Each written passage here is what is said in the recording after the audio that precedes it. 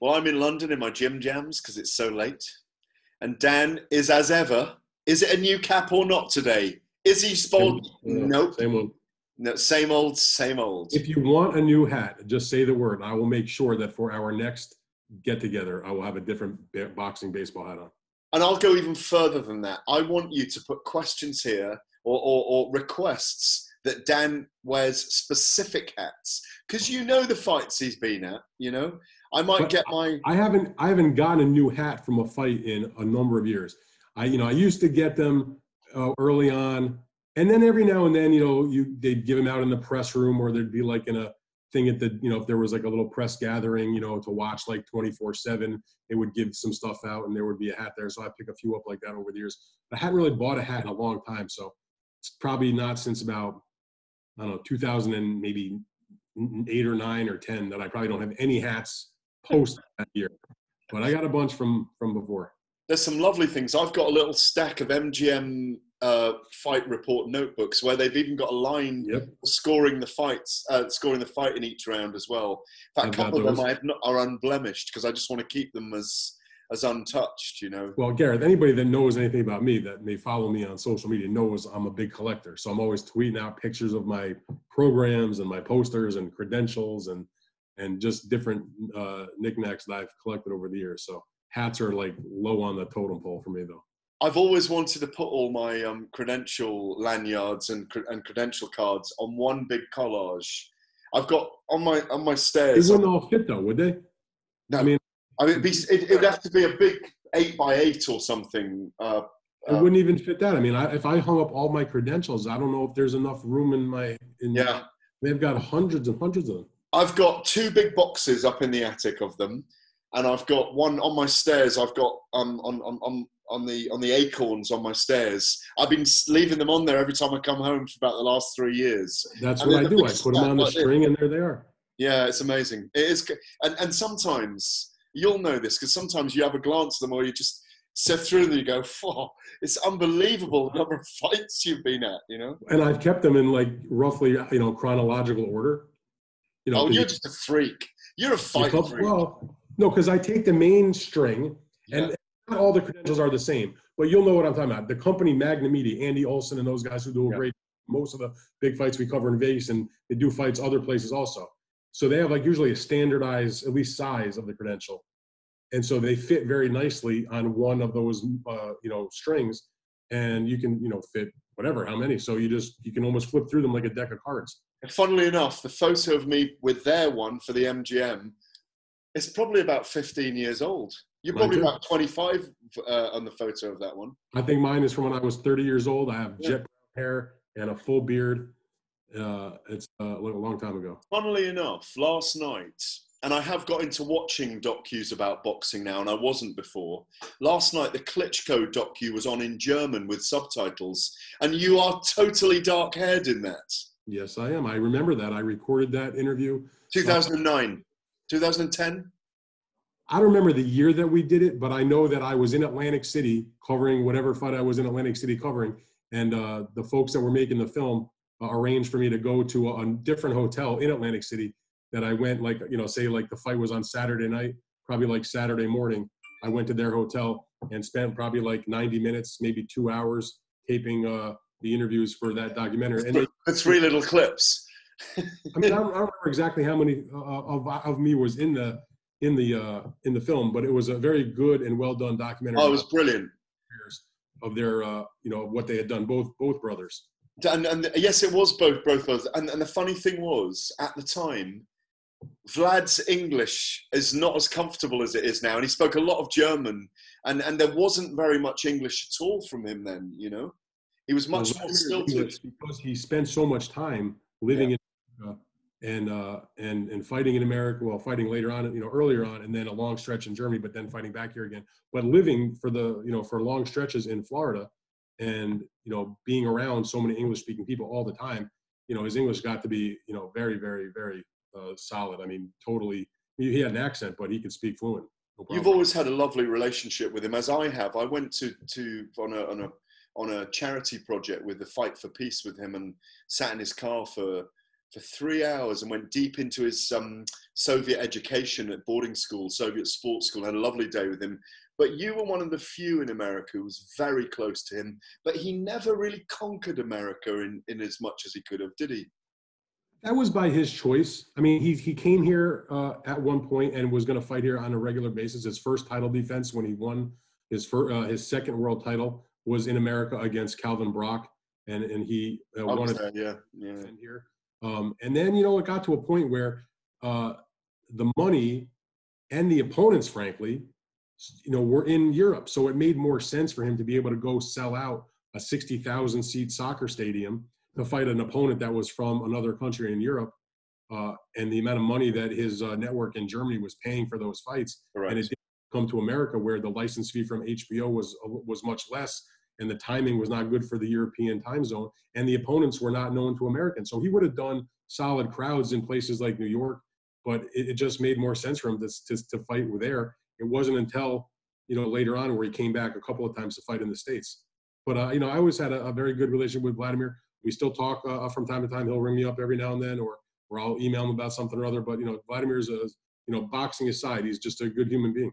I agree, and and it was to my benefit that he fought in Germany and Switzerland and all over the place so many times because I got to cover almost all of those fights, and he really did get loved and adopted by Germany and Hamburg, and you know where and and and he he's as much loved in Germany as a fighter. I mean, he was responsible for a major boxing Oh, yeah. in Germany Well, for about seven years. Dan, after he won the gold medal, when he turned pro, he did so with Universum Box Promotion, which is, you know, at that time was the biggest promoter in Germany. They had a great TV deal over there. They had a whole bunch of top quality championship level fighters that they put on on a basis. They built up Vladimir and his brother.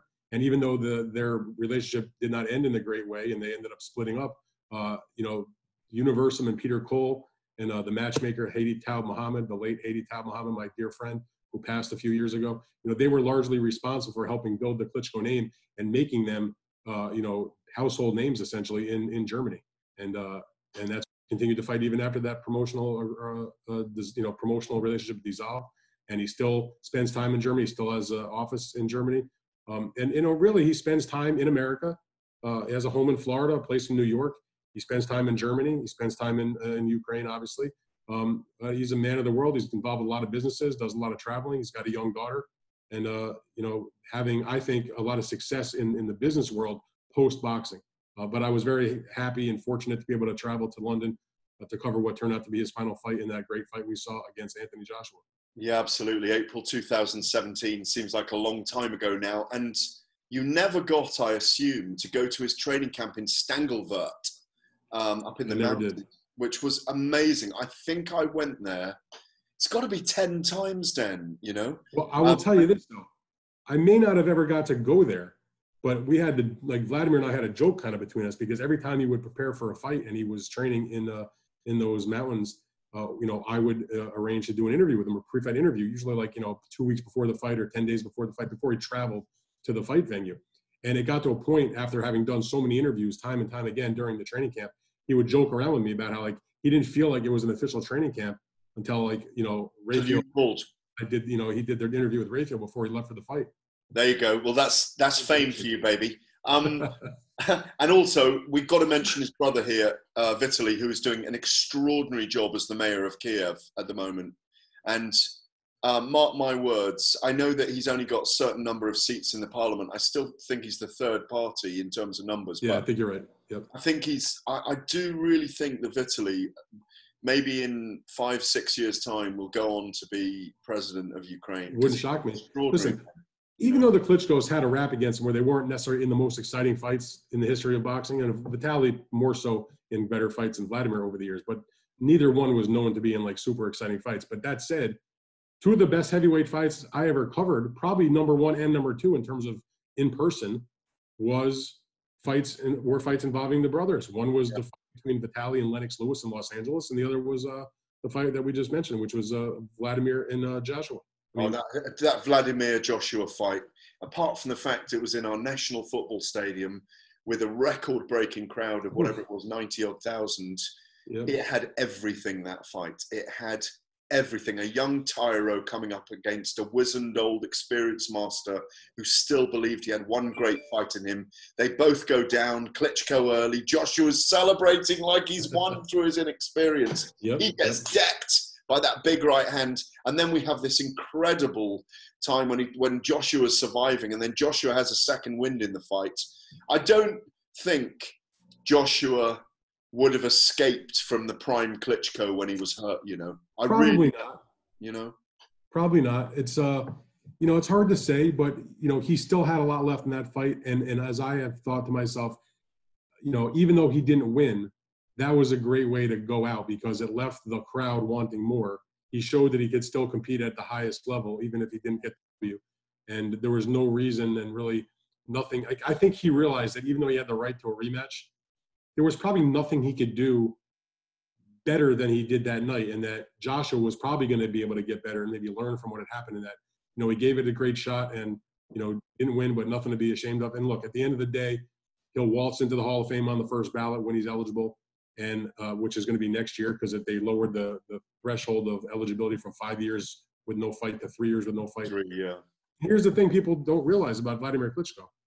No other human being who ever lived ever appeared in more heavyweight world title fights than Vladimir Klitschko, who appeared in 29 heavyweight title fights. You know, and granted, he didn't win them all. He lost, uh, you know, I think three of them or four of them at the most. Uh, but well, Joshua um, no, it's three. Uh, and uh, and uh, Corrie Sanders. Yeah. The other loss was a non-title fight when he fought Ross Right. Pierce back earlier in his career. But anyway, the point is, he had a, he had a his record in heavyweight title fights, just in title fights, is the record that a lot of guys have when they retire. You know, let's say you know twenty six and three or whatever. Mm.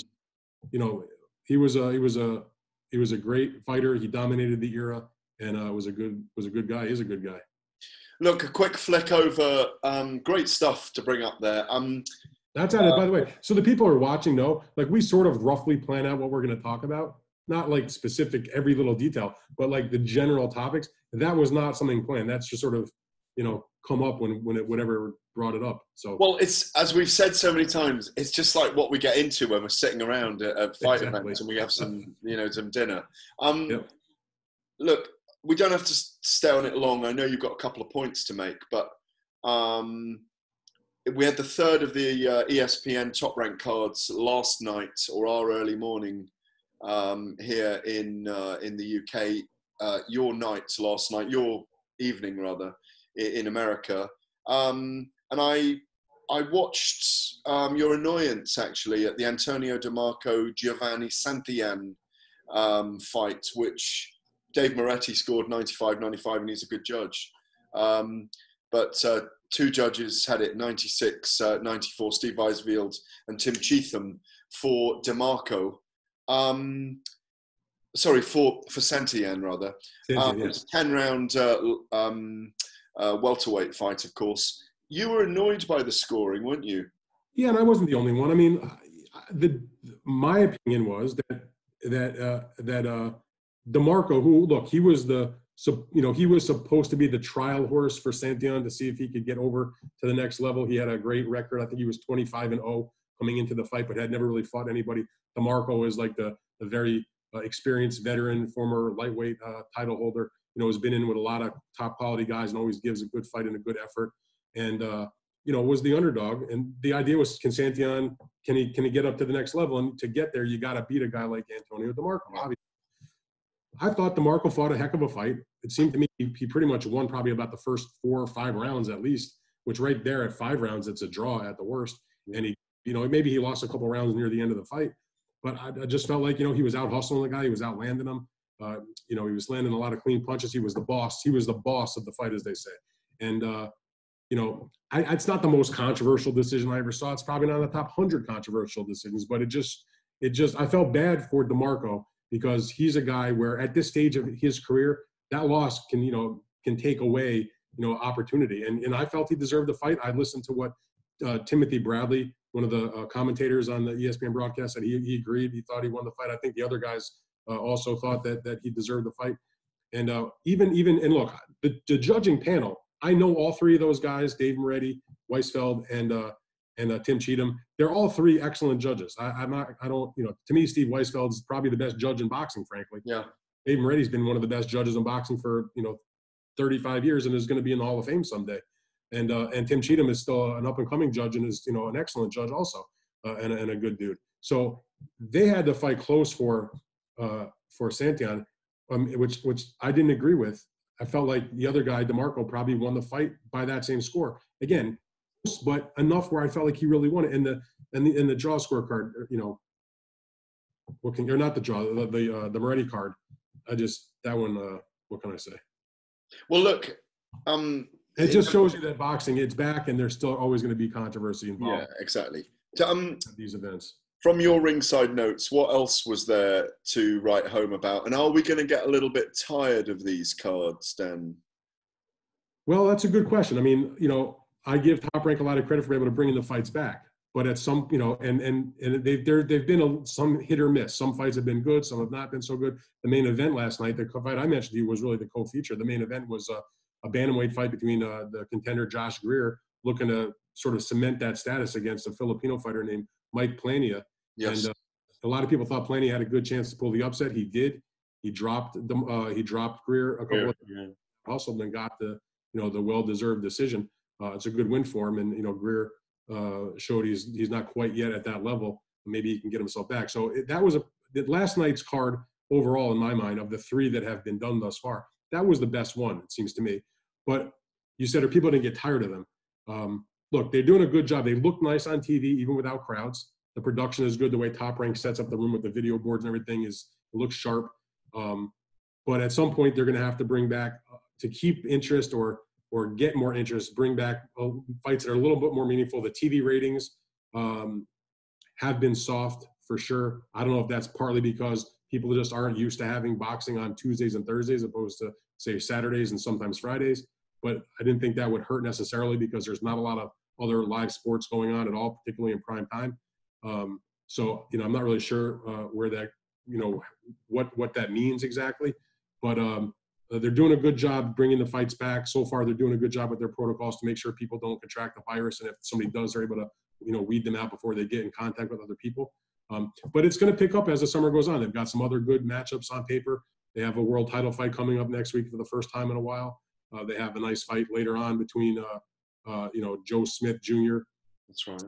Eleider Alvarez in an elimination fight, which is two you know legit top light heavyweight contenders that's supposed to take place next month and uh, you know a bunch of other good names and prospects. So you know, though they can make the bigger, better fights that we want to see. Well, one of the things, my point to make from over here with regard to them, with yeah. um, Frank Warren and um, Eddie Hearn both coming back in in mid July, is mm-hmm. that it was very disappointing that both BT Sports and uh, Sky Sports over here did not pick up the ESPN top ranked cards. And you know, they could at least have done it. Well, they could have at least done it for the first two weeks and shown eight hours of of as live boxing in the next afternoon, or made a feature of it the next night, and had a couple of panelists in a studio, or you know, had me and you. Yeah, hang, on minute, hang, on a minute, had me and you just breaking it down and introducing it. No, but it was disappointing. And well, I do you know, but here's the reason. Do you know why? I mean, have you talked to anybody at Sky? Well, if you let me finish, usually pick those type of shows up. Well, if you let me finish. Oh, I'm sorry.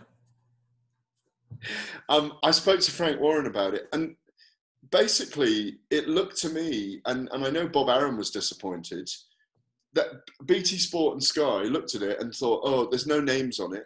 I mean, and to them, there were no names, so they didn't pick it up. I thought it was very short sighted of them. They could have even just done um, you know, basically they could have picked up the 10 cards. It would not have cost money, would it? That's the point. Would, I mean, honestly, at this point, they probably could have got it for almost nothing. Uh, the way 20 grand each, 30 grand each. I'm not, listen, I don't know what the dollar figure is. I just know that it would have been a lot. And, and, the re, and I say that also, whether you're Sky Sports or you're BT Sport or you're any other network that, that is in the business of televising sports from wherever, uh, there's nothing else going on of any significance at the moment. I mean, I know supposedly Premier League is coming back. They have you know, ESPN in America has been showing, you know, Korean professional baseball uh, that they're bringing in that, that takes place, you know, often in the middle of the night, you know, so everybody's been looking for some kind of live activity. And, you know, particularly as Sky Sports you know, which is a, a subscription-based network. You know, you got to have some programming for your viewers, I would think. And uh, so, yeah, I was kind of surprised by that, particularly, you know, in a BT Sports situation. Frank Warren and Top Rank have such a close relationship exactly. business together. You'd figure those would be for sure. Um, I've just had a nag from Doug Fischer, by the way, while we've been on. Uh, hey Gareth, friendly reminder: we'll need your UK column on Mike Tyson's visits to your side of the pond as soon as possible if it's going to make in the next issue. Yes, give you tomorrow. I have a story to get done for that issue also, so we're in good. Exactly. So, hey, give us, give us, give us five on that. Give us ten. give us ten on that, big man. There you go. There we go. Our first ring mag. No, I think I was in the last one that you were in as well. Anyway, but um, so look, let, us yeah, it's a very weird thing that, but um, that they didn't they didn't buy them up. I mean, but we would say that, wouldn't we? You know, um, but but they should have. Um, before we go, uh, well, no, we're going to do um, uh, viewers, uh, viewers and listeners or, and readers' questions if you read Twitter um, as a separate show um, for show ten. No, maybe show eleven. This is show ten. This is show ten. I should have mentioned at the beginning. We've reached double figures. We have made it. Figures. Yeah. Okay. Um, that that um, we're going to talk about two great fights from history now. Um, the first one being the one that you've just written a, a, a retrospective piece about for the Ring magazine. Uh, my first, my first article well, I, had, I, did an article for the Ring print edition that is the newest issue about Arturo Gatti for their special Gatti Ward issue. But this was my first uh, piece that was done for the Ring website. And if you want to introduce the fight, and then we can talk about it. Well, it's the very, it's the brilliant, brilliant fight between the man known as Golden Boy, who now has a promotional company, Oscar De La Hoya, and the quite brilliant, and because he went on so long, people forgot how brilliant he was, Shane Mosley. Uh, their first fight was tremendous. We should mention, just for the sake of, uh, of uh, people knowing it, Oscar owns the Ring magazine now, but he actually didn't buy it until just you know many years after. Yeah. Uh, you know, after that fight took place, obviously. But anyway, look, they fought the first fight, uh, and it was it was number one and first and foremost, it's a great fight. I mean, if you like fights that are filled with action, that are fought between guys in their prime, guys who are at the top of their game, uh, who are very skillful but also can fight I mean, that fight had all of that. Uh, they were it was a local rivalry because they were both from Los Angeles, so it was for LA bragging rights. It was the first ever fight that took place at Staples Center in Los Angeles, which uh, is the the main arena of that city, which had just opened not that long before the fight. Um, and also, besides the fact that Oscar was welterweight champion and Shane had been lightweight champion, had moved up two weight classes, had took two fights in the welterweight division to prepare for this inevitable showdown with Oscar that everybody knew was going to take place at some point. Uh, these guys were friends. They had fought in as kids, as uh, 11 or 12 in an amateur fight. They had sparred countless rounds together. They'd been in the same gym. They knew each other's families. Uh, and uh, so they, they called the fight Destiny because both Oscar and Shane, you know, both figured like it was destiny that they were going to have to fight each other. And they finally did. And it was an electrifying night. It was, and, and as I wrote in the piece, uh, because in addition to getting some uh, thoughts about the fight from Oscar, um, and the event and everything that went into it. You know, Dougie Fischer, the editor in chief of Ring Magazine, said, "Hey, you know, you could. I know it was your first, the first big fight that, that I ever covered in my career. Just a few months after I had started working at USA Today, even though I'd covered other fights. You know, put some of your own recollections in there also. So I, I weave some of my own uh, memories of that event in there. It was a remarkable night. I will never forget it. It remains to this day one of my favorite fights that I have ever covered or watched. It's it's a super action fight. You know, people thought going in, you know, that uh, it was a not I won't say a pick 'em fight, but there was a lot of people uh, that that were picking both guys. Matter of fact, in, in my research for the piece, I found the original uh, media picks box because we would often in USA Today, you know, on the Friday before the big fight with whatever my main story was, we would I would survey you know uh, ten or twelve of the other reporters from the uh, main outlets that were there to cover the fight. So it's pretty cool when you take a look. You see the picks from 20 years ago. Uh, you know, the, the fight was 20 years ago uh, today, uh, which uh, you know seems like a lifetime ago, which it was, I guess. But anyway, he's all the picks from everybody. It was pretty split among the top boxing writers of that time. Um, you know, I had picked Oscar De La Hoya. Uh, other a lot of other guys picked Oscar, but a lot of guys were picking Shane Mosley to win that fight also. You know, by the way, if you hadn't picked him that night, you wouldn't have been writing for Ring Magazine now. I don't think he knew the pick. I actually joke. It's funny when I interviewed Oscar earlier in the week about the fight for the story. You know, I jokingly said that. I said, by the way, and I read him down some of the picks because obviously these are all journalists that known and. Oh, so who is it? Is it like Ron Borges and? Off the top of my head, I mean, people can look on the Ring website, and at the bottom of the story, there's the whole list. But it's like, besides myself, it was people like Tim Smith, who was still working for the New York Daily News at the time, Eddie Schuyler, who was the Yeah. uh, Hall of Fame uh, Associated Press reporter. Brilliant writer. Brilliant writer. Yeah, uh, the late George Kimball from Yes. the, uh, from the Boston Herald at the time.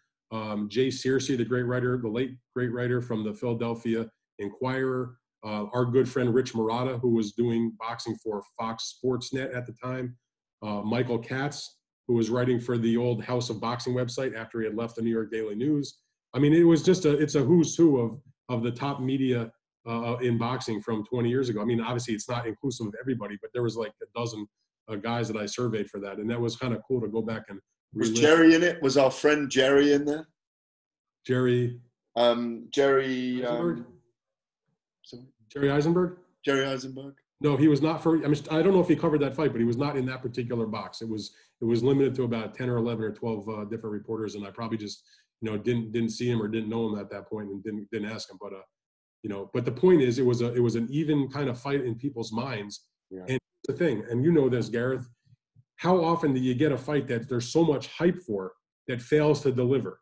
So it got a tremendous amount of hype and it it it in my opinion it surpassed what the hype was. I mean you know i remember uh, you know that that that fight besides my own experience of being my first time covering oscar or shane or going to los angeles or even anywhere ever going to california. You know it was also the first time i ever met bob arum who's top rank promoted the fight and his whole staff. And you know i, I detail some of the memories of that in the piece. You know it was very memorable. And you know top rank did a great job promoting that fight. And uh, you know staples center was absolutely packed. And the big thing about it gareth you know, you and I see a lot of famous movie stars and actors and sports people and this and that that are ringside at the big fights in Vegas. To me, that fight was the most star-studded fight I've ever seen. It includes, you know, Mayweather fights and Mike Tyson fights and other Oscar fights, Canelo, the big, big guys. There was everywhere you looked in, in Staples Center that night. Eh, No matter where you looked, there was a famous uh, movie person or TV star or politician or athlete. It was ridiculous. because really, this was the period, if people don't realize it, this was the period where Mosley and Oscar De La Hoya, and you think about what Bob's done in the context of all this. These were the great American, apart from the heavyweights, these were the Ameri- great American boxing stars. And of course, five, six, seven years later, when Oscar met Floyd Mayweather, he took over, didn't he? Yeah. He took over. I mean, Bob Bob was not the promoter of that fight because at that point Oscar and Floyd had broken away and were doing their own. Thing. No, fight. I mean, but that was the moment where, but Oscar was the biggest star. yeah. and No, then- what I was going to say though is it was all the groundwork for those types of successful events were laid because Bob and his company had done Absolutely. job. Look, Oscar at that time, and it's it's easy. Some people forget that he was the superstar of boxing. Period in the United States and around the world. He was the uh, face of the sport. And every time he boxed, whether it was against a big name like a Shane Mosley or against somebody that was not as well known, you know, it was still a big, big event.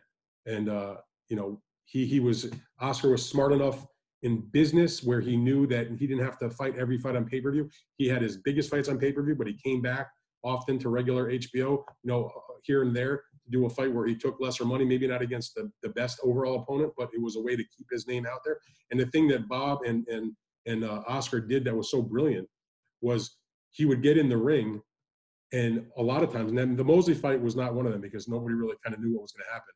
But a lot of times, uh, he would go into the fight, and you already knew who the next opponent was going to be, to the extent they would bring that opponent to the press conference. Yeah. And certain guy, the next guy was up, and he was already there to promote the fight. And Oscar fought so often that you know it was just one promotion melded into the next, and it was a it was a smart way for for them to do, and that helped launch Oscar, uh, you know, as not only a popular fighter but a guy that just printed printed money. I mean, he whatever success that Manny Pacquiao and Floyd Mayweather have had on on pay per view, and they have surpassed Oscar in terms of the the gross revenues and the magnitude of some of their fights. That doesn't happen without Oscar De La Hoya, who set the groundwork for that and who gave both of them fights to help them launch themselves into that big time. Because Correct. Oscar, when when he when he before he picked Manny and Floyd to fight, Manny and Floyd were fighting on pay per view, and they were doing fine. They were doing modest numbers. They were being successful promotions, but they were doing like 300,000 buys, 330,000 buys, 350,000. And then when Oscar fought them, they got to that million level because that was such a big deal as Oscar being the biggest draw, and obviously with the Floyd fight over two million. Two point five, yeah.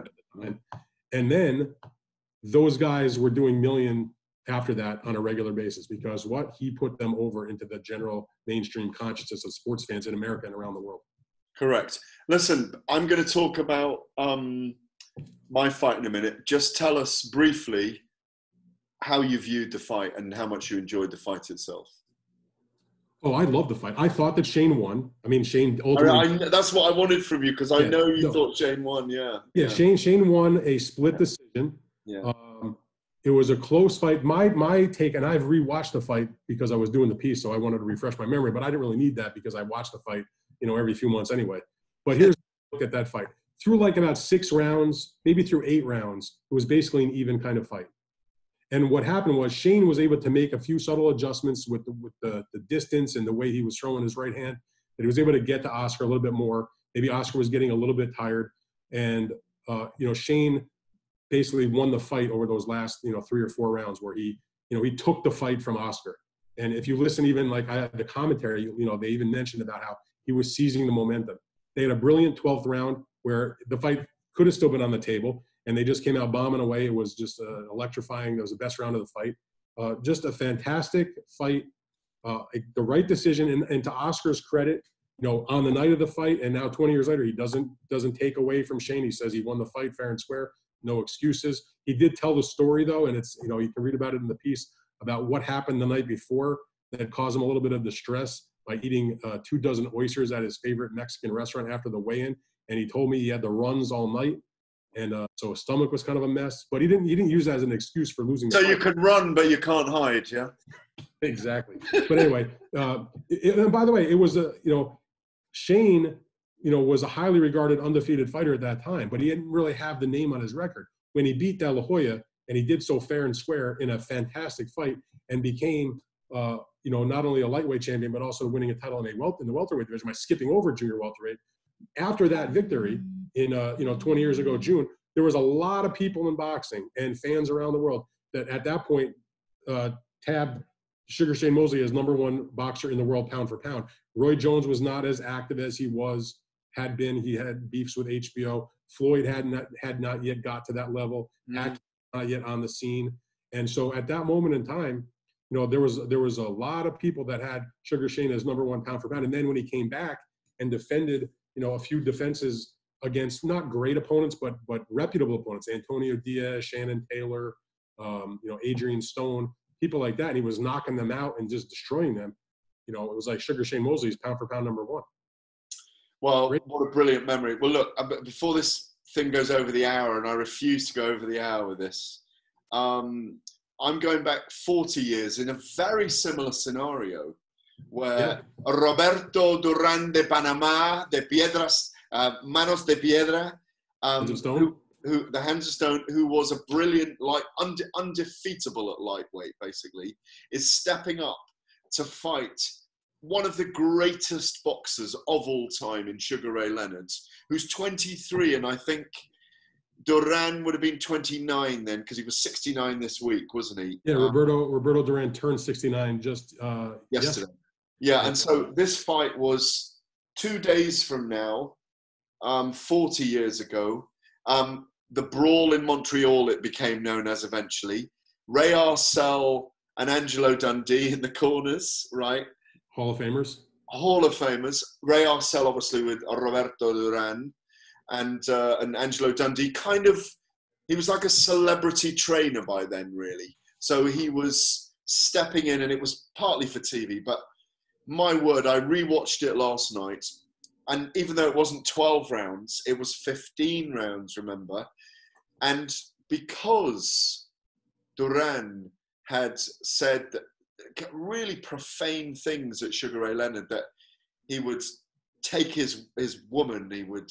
He, I can't. I'm not going to repeat them on here because I, it's so. You know, it, it's so funny that you when people talk about that Duran because I don't know that Duran. No, no. The mean, nasty beast. But, I've known is in the last, you know, a number of years as a retired guy where he comes to fights and he's just this happy-go-lucky guy, always smiling, always hugging people. Listen, person. As as Sugar Ray Leonard refused to dance that night in the ring and stood toe to toe, heavy legged with Duran and fought Duran's fight because he was so angry with him. Yeah. Mm-hmm. Duran was grinning in his corner every couple of rounds between rounds because he knew that he had fought forced the master to fight his fight.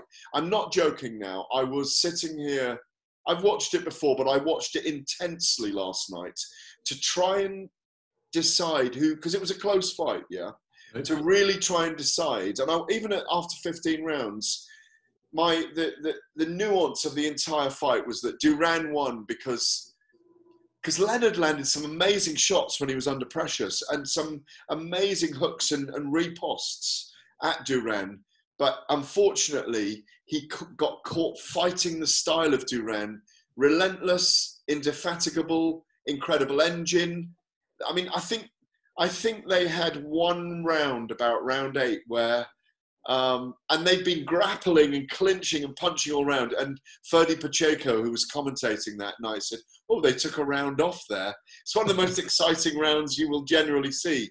Um, it's a fight you've seen as well, I'm sure. But it really, what I loved about it, again, it was a lightweight stepping up to face a welterweight. Well, remember, I think if I'm not mistaken, I believe that Duran had had a, uh, other fights as a welterweight before he fought. He no, he had, but but but also um, Sugar Ray was undefeated at that point as well. So Yeah, it was one of those moments in time that if we had we been at it, I was 14, you know, and you were tiny. Um, had we been at it, it's was- one of those fights where we would have seen a power shift. Or it's a bit like it's a bit like if Terence Crawford comes up and beats Errol Spence now, he's come up to a third weight division, and we might fancy him at on. middleweight. You know what I mean? But but Terence Crawford has been at welterweight for a while and has got a No, but but he's fighting a guy who is brilliant at welterweight and who's never been beaten at welterweight, and maybe too much of a challenge for him. And you know, it's so so it's it's just one of those moments where these are you know they're called greats now willy nilly, but that when you see, I've never seen so much relentless brilliance over 12 to 15 rounds. It's relentless when you even the commentators have got it wrong with oh Leonard's hurt. He wasn't hurt. He was he, he was damaged into action. Oh Duran's tiring. Well, three seconds later he wasn't, you know? Well, the thing that's interesting to me about the fight, which nobody knew at the time, because you never know how the rest of history is going to play out, but and it seems like a perfect way to start. Leonard Duran one was the first fight in what became the incredible round robin fights between Ray Eight fights. Eight fights, it? and uh, and uh, Hagler. I thought it was nine fights. It's nine, sorry. it is. They, nine. they It is bookended it. So you had Leonard Duran one Yeah. first fight of that great foursome. And you then, you know, almost a decade later at the end of 89, you had the third fight or the third fight between Leonard and Duran that closed that. So basically for the entirety of the 1980s, starting in 1980 with their first fight, ending in 1989 with their third fight, you had all nine of the fights between the four kings that carried that decade of boxing and made it so popular, you know, in the post Muhammad Ali era when you know, all due respect to Larry Holmes, who was a great champion and dominated the 1980s, and then of course, you know, in the later part of that decade, you had uh, the, the the prime Mike Tyson, who who came in and just electrified the world. But those four kings, you know, they were the face of boxing, you know, other than say Tyson when he won the title in '86, and they they carried the sport and made huge events. And Leonard Duran one, which is the first fight of that group, is probably, in my estimation, if you had to rank all nine of their fights in terms of which were the best fights. Obviously, Hagler Hearns is number one. Number two is probably Leonard Hearns, the first fight. Number three is probably Duran Leonard one. And you know, if you were making the, the the official ranking of the nine from from best to to, to not as best. Dan, you've talked to me out, and I'm going to say two words no mas.